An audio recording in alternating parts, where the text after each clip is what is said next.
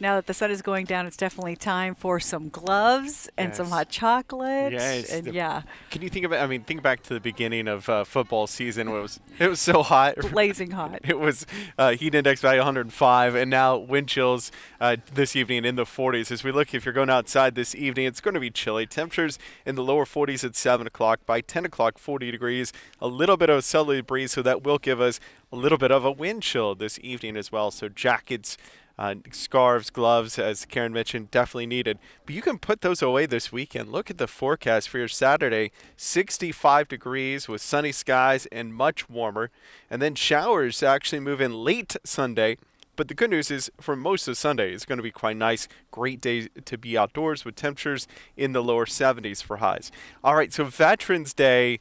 Oh, wow. This is going to be a sharp change from the weekend where north winds gusting up to 35 miles per hour on Veterans Day. Yeah, so temperatures in the 30s, wind chills in the teens and lower 20s.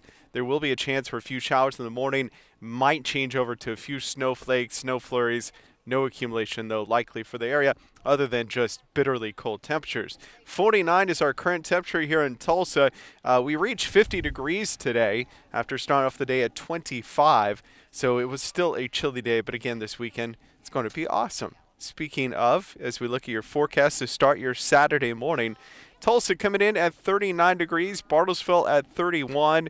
A chilly start to your morning. Jackets still needed in the morning, uh, but during the day we'll see a little bit of a southerly breeze return to the area, picking up about 10 to 15 miles per hour.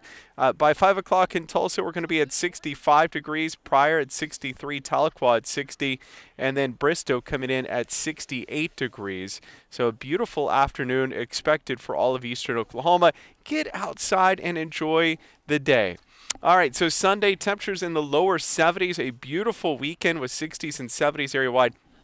The rain chance is actually going to hold off until late Sunday night. So most of the day Sunday should be relatively dry, not until after 7, 8 o'clock will we have to deal with any showers in the area. Now, Veterans Day, look at that temperature go from 71 down to 39 by Monday morning, down to 31 for Monday afternoon with below sub-freezing temperatures by 5 o'clock. And again, maybe a few snow flurries during the day. No major accumulation or in, no accumulation expected. Temperatures really cold. Then we drop down to 17 on Tuesday morning. Records go back to 1911 in the mid-teens. It's going to be close. It was a blue northern back in 1911, uh, where we dropped from the 80s down into the 30s in a matter of a couple of hours. Uh, this isn't going to be as strong, but still close. 17 on Tuesday morning, Tuesday afternoon, 40 degrees, 45 on Wednesday, 40s, and uh, they're wrapping up the rest of this week.